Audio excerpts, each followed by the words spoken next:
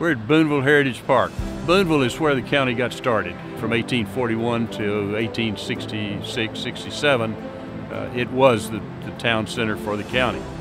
And uh, kind of became a ghost town some years later when the train came through in, in what's now Bryan.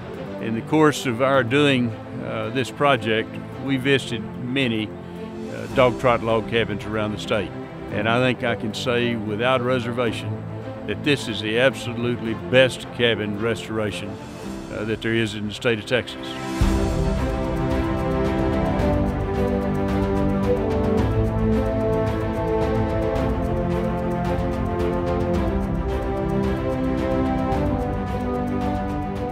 It started with finding a, a secure place for the dog trot, and then we expanded it a little bit here and a little bit there to give a, a glance, a, a, a, glance back to see what life was really like. I think this grove of trees are probably the, the grandchildren of the, the post oak forest that was here when this land was first settled and first made into a township. And uh, then we expanded on it to kind of reach a little bit further back into the Republic of Texas era. We have the, the Six Flags Plaza. We have a replica as near as you can create one for uh, Twin Sister Cannon from San Jacinto fame. It's nostalgic for adults, but it's, I think it's sort of magic for children.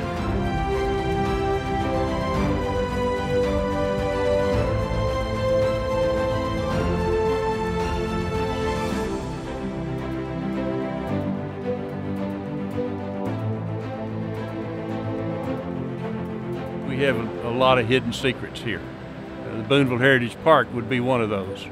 But the Carnegie Library, which is, is one of a very few that's still very, very well maintained, great looking facility in downtown Bryan. I can remember as a little girl the hustle and bustle of downtown Bryan, and that's back. And we just hope that the Boonville Heritage Park will be one more feature that, that those who are here will choose to visit and to see and, and uh, learn about uh, early Texas and uh, how we played a part in that.